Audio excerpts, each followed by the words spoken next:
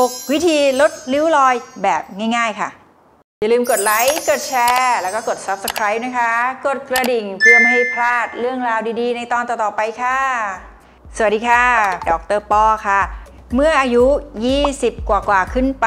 ริ้วรอยก็เริ่มมาเยือนเพราะว่าคอลลาเจนใต้ผิวหนังก็ลดลง แล้วก็ด้วย การที่เราอะใช้หน้าเราพูดทำอะไรเนี่ยมันก็มีการขยับขยื่นตัวใบหน้าก็จะทำให้หน้าเราอะเกิดริ้วรอยได้ อายุ 20 กว่าขึ้นไป 30 กว่า 40 กว่า แล้วยิ่งแบบโห5 60ไม่ต้องพูดถึงริ้วรอยมันก็จะค้างอยู่บนใบหน้า วันนี้นะคะ พี่ป้อก็จะมาแนะนำวิธีที่จะช่วยลดเลือนริ้วรอยแบบง่าย ๆ ค่ะ ข้อที่ 1 ค่ะ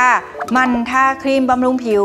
การทาครีมบำรุงผิวก็จะช่วยทำให้ผิวที่แห้งกร้านแล้วก็เหี่ยวย่นเนี่ยค่ะกลับมานุ่มชุ่มชื้นพวกครีมบำรุงผิวก็ควรที่จะมีสารสกัดจากธรรมชาติดีๆ ที่ช่วยทำให้ผิวพรรณเนี่ยดีขึ้นอย่างเช่น ลดเลือนริ้วรอย หรือว่าผิวขาวกระจ่างใสก็จะทำให้ผิวเราเนี่ยสวยได้แล้วก็ดูอ่อนเยาว์กว่าวัยค่ะ 2. ทานปลาที่มีไขมัน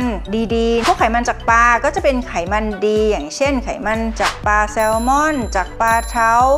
ปลาทูปลาซาดีน แล้วก็ปลาทะเลอื่นๆ หลาย ๆ ชนิดเนี่ยก็จะมีประโยชน์ที่มีพวกกรดไขมันที่จำเป็น เช่นโอเมก้า 3 ค่อนข้างสูง ก็จะทำให้ผิวของเราเนี่ยแข็งแรงแล้วก็มีความยืดหยุ่น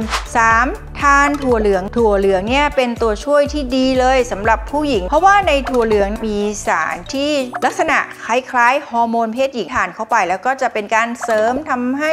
เอสโตรเจนในร่างกายของเราเนี่ยดีขึ้น สามารถปกป้องผิวจากแสงแดด และก็ยังช่วยลดเลือนริ้วรอยได้ดีค่ะ 4. ทานอะโวคาโดอะโวคาโดก็จะเต็มไปด้วยไขมันที่ดีต่อสุขภาพค่ะ ซึ่งไขมันที่ดีตัวนี้ก็จะช่วยทำให้ผิวเนี่ยมีความชุ่มชื้น มีความยืดหยุ่นที่ดีเลย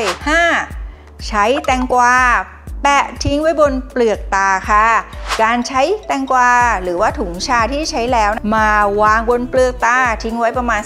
15-20 นาที เป็นประจำทุกวันจะช่วยในการลดเลือนริ้วรอยหมองคล้ำรอบดวงตาได้ดีค่ะ 6. พอกหน้าด้วยวัตถุดิบจากธรรมชาติ วัตถุดิบจากธรรมชาติหลาย ๆ ตัวที่หาง่าย ๆ จากในครัวของเราไม่ว่าจะเป็น